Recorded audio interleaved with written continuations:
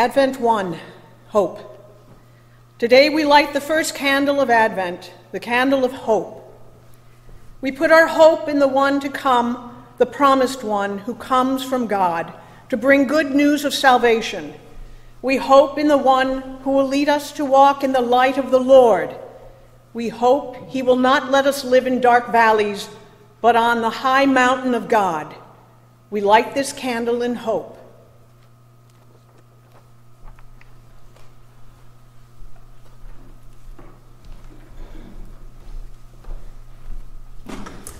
Good morning. I have some announcements today, but first off, I'd really like to thank a group of people who got together yesterday and decorated our church and also wrapped many, many books for our mothers of preschoolers to uh, read to their children uh, a book every night before Christmas.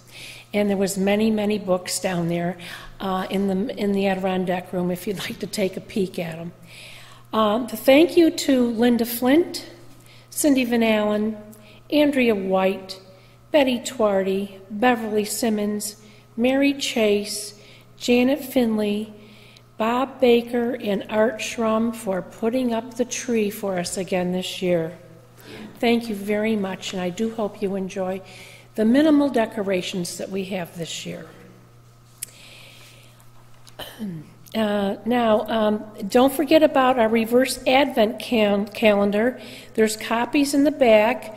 Um, if you are so inclined, we are collecting food for Christmas boxes and our very own food pantry. For more information, you can contact Cindy Van Allen or Andrea White. But it's pretty self explanatory. It's a nice list back there, and every day you put something in the box. Now, on next Saturday is our shepherd's pie dinner, and I do have tickets. So uh, it's going to be a, a, a drive through um, uh, event here at the church, and, uh, and people are asked to uh, circle around in the parking lot and come around to the front of the church, and their order will be placed in their car. Uh, please wear masks in the car for us. Um, and uh, it's and the menu includes a, a, shepherd's pie made by June Wood from the Greystone Inn, and that's what she's very well known for, and a tossed salad, a home baked dinner roll, and dessert.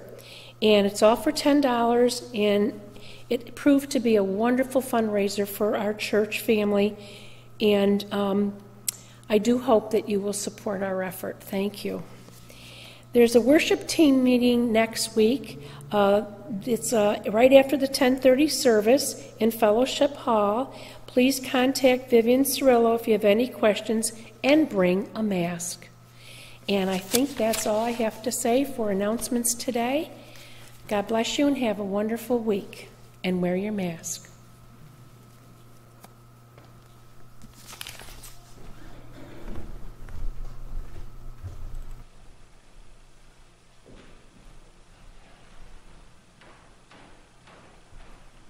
Good morning.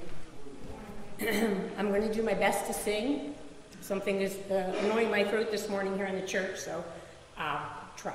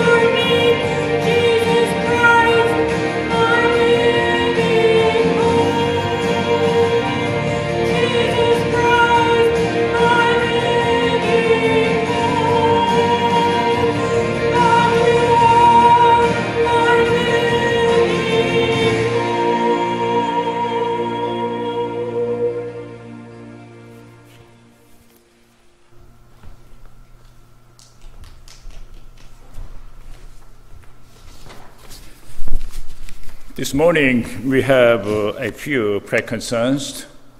First, uh, Felice Decker is asking for prayers for her sister Valerie, who is uh, now in St. Mary's Hospital in Amsterdam. Second, uh, Betty is asking for prayers uh, for her grandson, Jordan Twerdy, who will be in great need of surgery on his ankle due to lightning strike on uh, last May. And also, Betty is asking for prayers for her brother-in-law, Jack Twerdy. He is in the hospital with infection in the tube in stomach and running a fever. And Cookie Eaton, uh, who is in charge of uh, distributing foods for those in need through our uh, community pantry in our church, uh, she uh, asking for prayer for Donna Stifler uh, for kidney infection. And as I announced a couple of times in the past two weeks, Bernie Landry has been moved from Albany Med to Sunnyview Rehab and is uh, in traction for fractures sustained in a fall. We pray for uh, a complete uh, recovery of uh, his uh, upper part of spine cord. And we missed, I missed sharing uh, these prayer concerns last week. Uh, Dick and Dorothy Johnson are asking for prayers for their cousin Susan Jones, who had her leg amputated and is now in Sunnyview rehab. And uh, they also asking for prayers for Frank Malagasy, uh, who is one of their uh, good neighbors, uh, early 50s, and his mother, Sally, both have serious medical issues. Each week, whenever you have a prayer concerns to share with our congregation in God's house, please do not hesitate to send uh, that prayer concern uh, to the hospital uh, through phone call or email. Let us pray. Thank you, Father, for giving us a wonderful time despite this challenging circumstance caused by the, uh, the uh, coronavirus pandemic this week. But as we usually do every year with our family gathering, not many families, families gather together this year because of the same reason, but you have led our heart, you lift up our hearts and our spirits as we spend uh, with a thankful spirit, remembering how thankful it is for us to live in this bountiful uh, land, uh, America, every day in your constant care and provision and protection, particularly of all our church people from such a deadly disease, uh, coronavirus pandemic. We thank you again uh, from, our, from the bottom of our hearts for what you have done this past year with your mighty hands to protect all your children from accidents and deadly diseases and all other life threatening circumstances. We love to gather together in your house to tell of your mighty acts. We commend uh, your wonderful works to another generation we want to uh, meditate on your great works and wonderful acts of salvation through your Son Jesus Christ.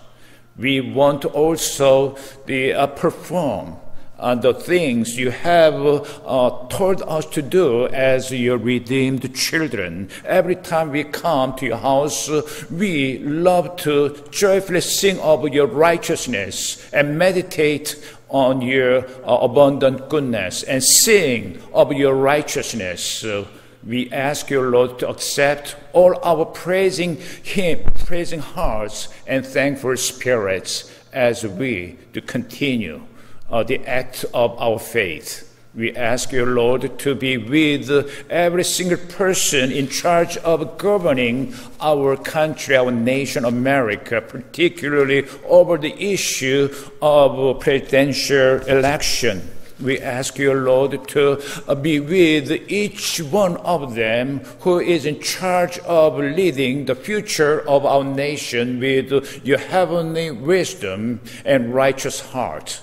We thank you, Father, for hearing of our prayer concerns, uh, who, which lifted up uh, the spirits of those who are being challenged physically and uh, spiritually. We ask you, Lord, to uh, also the, uphold those who fall and listen to the cry of those who, who love you and who fear you and you always watch over who love you and praise you from their hearts. We pray all this in the name of Jesus Christ our Lord, who taught us how to pray, saying, Our Father, who art in heaven, hallowed be thy name.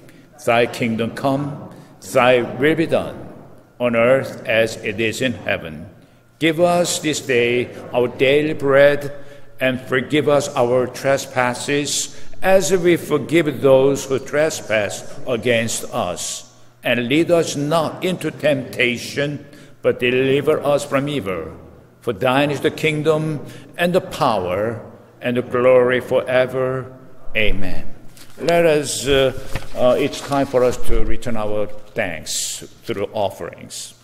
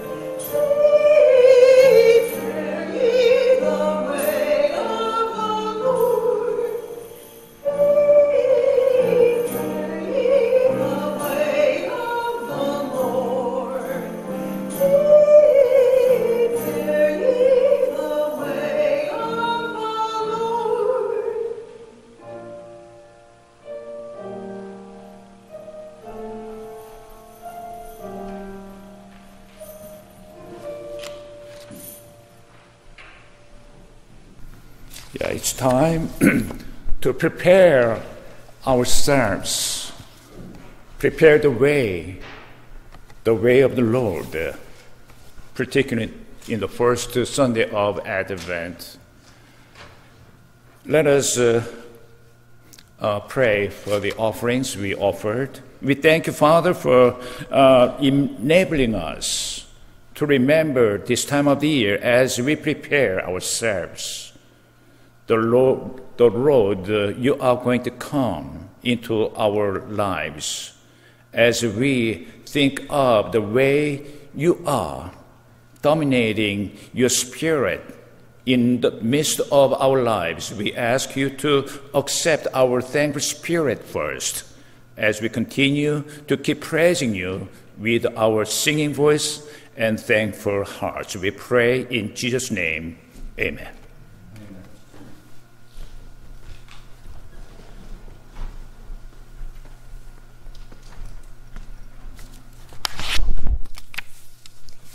There are two scripture lessons today. The first reading comes from Isaiah chapter 11, verses 1 through 5.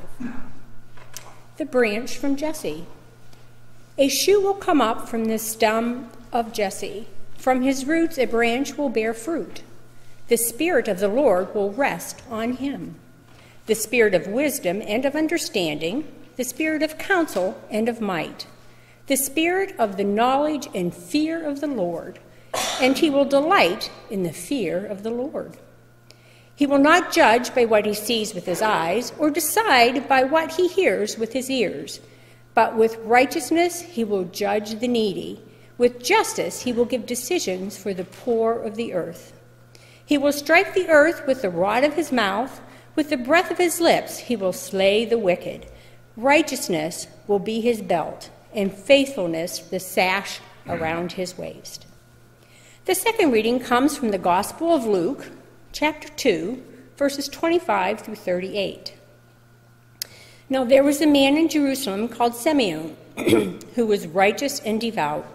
He was waiting for the consolation of Israel, and the Holy Spirit was on him. It had been revealed to him by the Holy Spirit that he would not die before he had seen the Lord's Messiah. Moved by the Spirit, he went into the temple courts. When the parents brought the child Jesus to do for him what the custom of the law required, Simeon took him in his arms and praised God, saying, Sovereign Lord, as you have promised, you may now dismiss your servant in peace. For my eyes have seen your salvation, which you have prepared in the sight of all nations, a light for revelation to the Gentiles and the glory of your people, Israel. The child's father and mother marveled at what was said about him. Then Simeon blessed them and said to Mary, his mother, This child is destined to cause the falling and rising of many in Israel, and to be a sign that will be spoken against, so that the thoughts of many hearts will be revealed, and a sword will pierce your own soul too. There was also a prophet, Anna, the daughter of Penuel, of the tribe of Asher. She was very old. She lived with her husband seven years after her marriage and then was a widow until she was 84. She never left the temple but worshiped night and day, fasting and praying. Coming up to them at that very moment, she gave thanks to God and spoke about the child to all who were looking forward to the redemption of Jerusalem. This is the word of the Lord. Thanks, thanks be to God.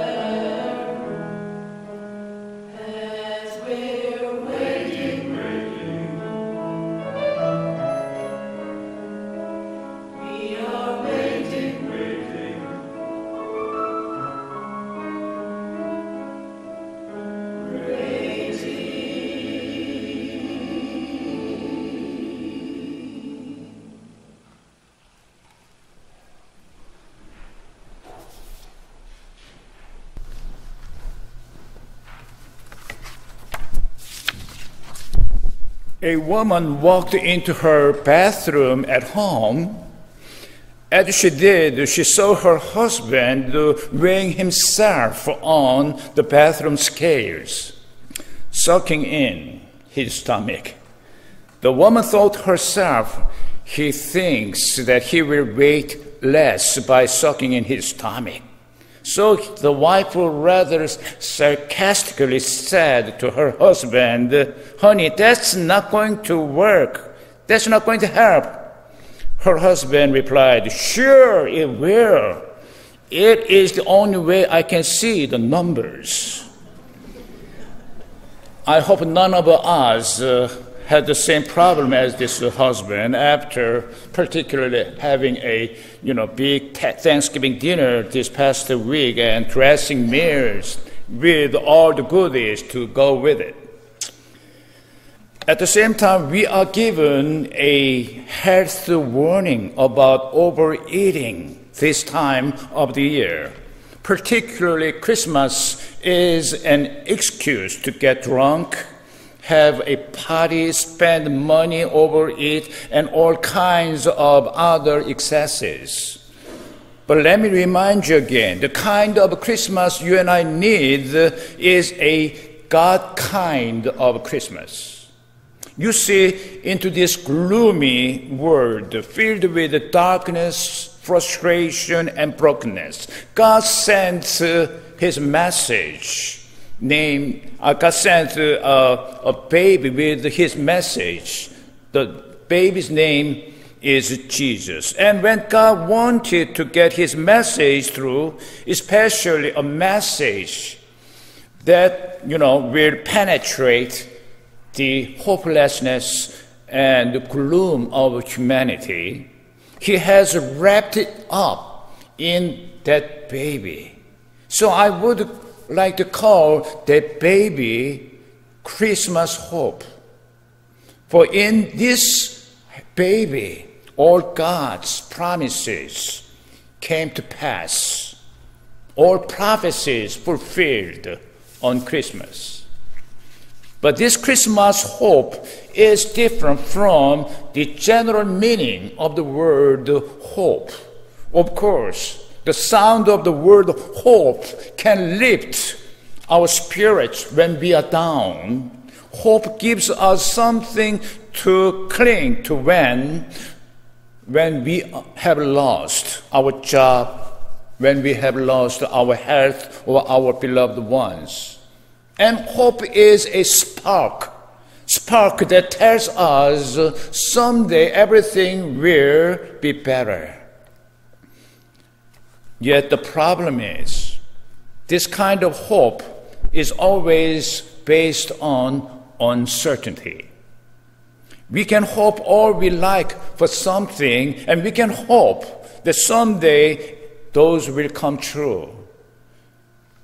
Let me uh, introduce to you one uh, uh, ancient story which I found in preparation of today's message the story about the flying horse, the flying horse of the king who sentenced one of his vassals to death. The man begged a reprieve, saying he would teach the king's horse to fly by the end of the year. Otherwise, this man would be put to death. Later, this man explained, Well, within a year, the king may die, or I may die, or the horse may die. Furthermore, who knows, maybe the horse will learn to fly. In this story, we recognize how advantageous it is to earn time when in trouble. People expect that there will be a change during the period of time they earned. People tend to take time as much as they can and expect some good result to take place. It is not wrong to do that. But it is like, uh, you know, launching a tiny boat in the vast ocean of time, expecting to some, you know, the, some luck happen to that small boat, merely watching, merely waiting. We call it accidentalism. Accidentalism. However, we Christians do not live in that way. We don't cast our precious life upon the waves of time or stick it to the wheel of fate. Our God wants us to do and to be affirmative and positive in our hope. We cannot build success only with time and hope. The Bible teaches us to add one more important ingredient to these two time and hope. That is faith. When hope is anchored deep into faith and time, faith will be working together to produce what we expect. For faith is the substance of things hoped for and the conviction of things not seen. If we do not use faith, our time and hope will be just the products of accidentalism or victims of fatalism. Even if a fortune was dumped on your life and my life by accident in our lottery game, our joy will not be lasting long. For it is not money or wealth themselves, but the fulfillment of our long waited hope that brings us real joy and happiness. And when our hope is accompanied with faith, our life is getting excited and dynamic. For we have the assurance of hope, which is anchored deep in the ground of faith the faith you and I have in God's word of promise. Do we remember the second verse of standing on the promises? Standing on the promises that cannot fair through the howling storms of doubt and fear assailed by the living word of God I shall prevail standing on the promises of God. Can you join me? Standing standing standing on the promises of God my savior. Standing, standing. I'm standing on the promises of God, standing on the promises that cannot fail. Though the howling storms of doubt and fear assail, by the living word of God I shall prevail. Because our hope is uh, anchored deep into the ground of our faith in God's words of promise. In today's New Testament text, we do not meet only a senior man by the name of Simeon, but we meet a senior woman, Anna. Anna was 84 years old. She was living in hope. She was a senior adult in years and years, but she teaches us the secret of growing older without growing colder. She had learned to see light in the midst of darkness, loneliness, because of hope she got based on God's word of promise. Then what about you? Where is your hope? As for Anna, her hope is not found in a relationship with another human being. Anna had lived with her husband just seven years. And this woman was a widow of about 60 years. Yet she was still living in hope and giving thanks to God for the hope she had. Her hope was to see God's uh, words of promise fulfilled. Her hope was not in her husband or another man. Her hope kept her primed to, you know, look beyond the circumstance of her life, no matter how lonely, no matter how difficult it was.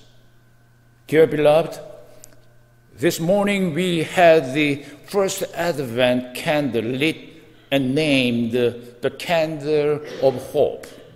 When we were lighting the candle, what do we hope to see happen in our lives?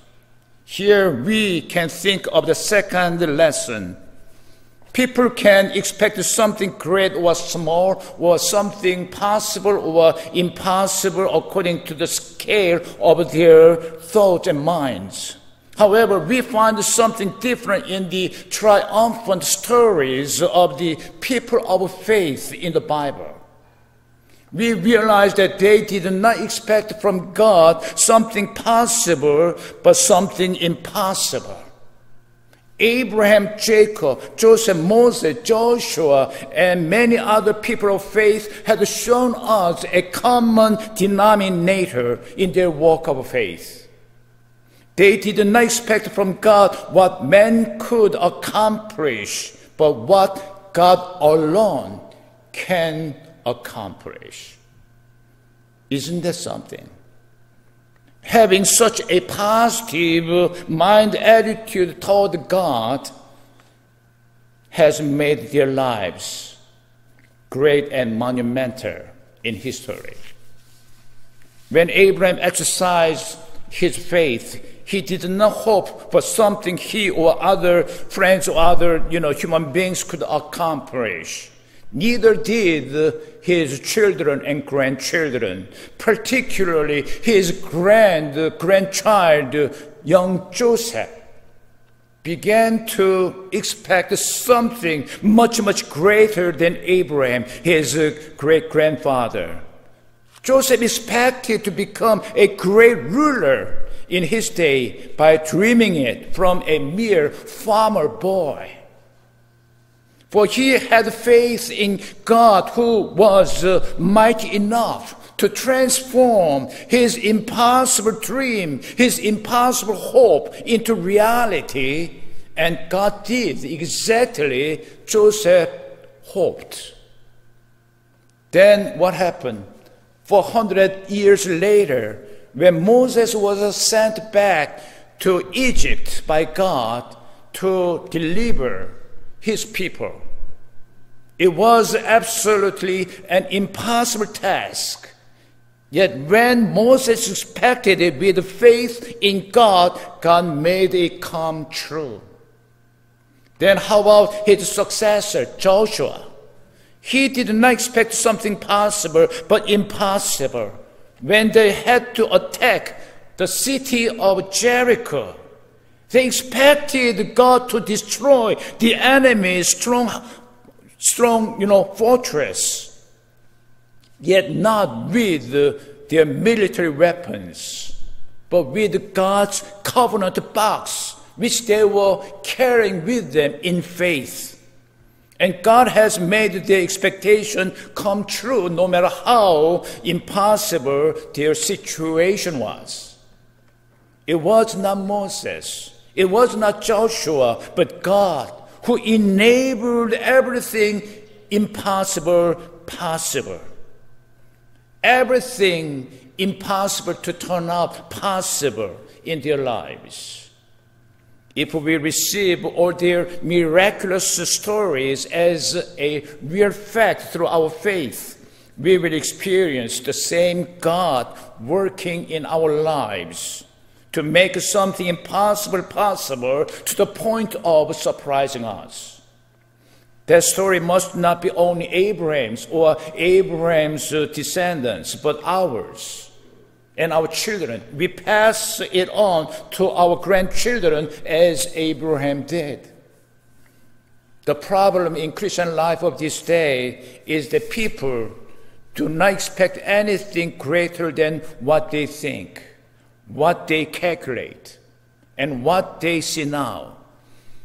Probably in our life of hope, many people underestimate God's infinite power, God's, uh, you know, what measurable, impossible power. We expect something small from God's mighty hand. But when doctors determine it is not possible to have my cancer cured by any human doctor, their hand, what happened?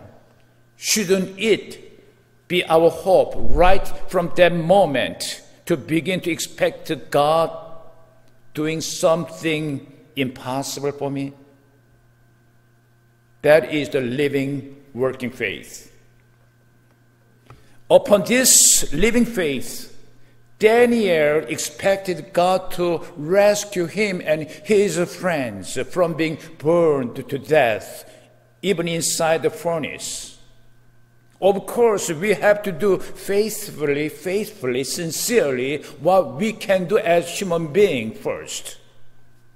And ask God to do for us what we really cannot handle ourselves anymore. Jesus did not ask for food or drink or clothes. Neither would he ask for car or furniture or house, even if Jesus lived today. For every man can get from their labor and efforts those stuff. Rather, Jesus asked God for something impossible none of human beings can do. It was to have all his believers living forever in glorious, delightful states, even after their physical termination. That is what Jesus expected to see happen his new kingdom. Yes, expecting God to do something great, even impossible in our life is the living faith. In Psalm chapter 81:10, the mighty God broadens the scale of our expectations, saying, I am the Lord your God who brought you up out of land of Egypt. Open your mouth wide God said, Open your mouth wide and I will feed it, unquote. Right. Doing what God said, by doing what God said, we can obtain all God wants to give us. And today is the first Sunday of Advent when we expect the Messiah, Jesus, to come into our personal life. Do not ever expect Jesus to do something small for us, like the Jews of 2,000 years ago. The big mistake that they made 2,000 years ago was the expectation of the Messiah to merely deliver them from political oppression and restore their lost land to them. But Jesus did not come to this world to do the same thing as Moses did, or anything any genius man could do. The Messiah God sent to this world 2,000 years ago did what human beings could not do, neither would they dare think doing. What was it? It was his birth in the least place of the world, as Prophet Micah you know, prophesied. It was his uh, crucifixion as described by Prophet Isaiah. And it was his resurrection as the prophecy of Ezekiel. All these marvelous things done by Jesus are not the products of accidentalism, but the complete fulfillment of God's words of promise. Yet, not only 2,000 years ago, but at the very end of this world, the same Messiah Jesus will be doing another impossible thing to save all faithful believers in totally astonishing ways, far beyond human imagination. It was, if we expect such an incredible experience to be fulfilled in our life by the same Jesus, expect Him to do something marvelous. Our tomorrows will be bright and truly blessed.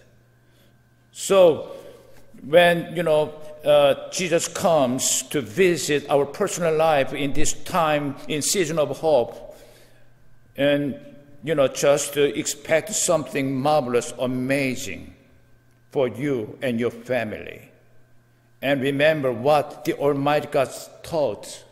I am the Lord your God who brought you up out of the land of Egypt.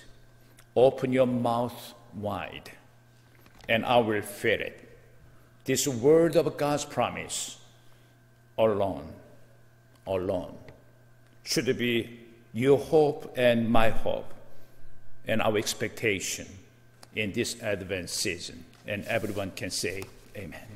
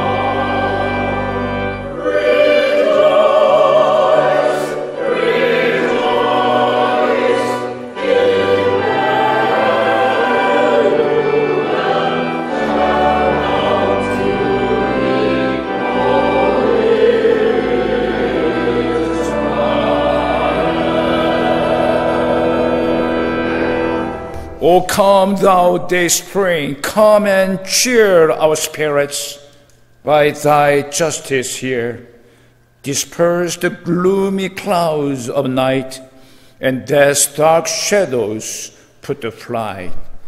O Lord, thank you for reminding us once again the true meaning of Advent as we prepare ourselves for the road, the way you want to visit into our lives. And now may the grace of the Father, our God, and such a love of the Son, Jesus Christ, and the fellowship of the Holy Spirit be with you and among you now and forever.